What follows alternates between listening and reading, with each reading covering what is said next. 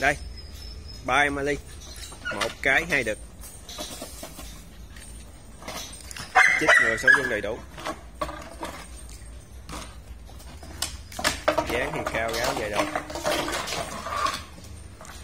ngoài đây là một đực một cái nha. Đó. em cái đang ngậm cái chai đó. Em được ở ngoài đây. Với thêm một, em được ở trong chuồng chích người có dân đầy anh chị nào yêu thích em nào cứ liên hệ số điện thoại 0964 733 539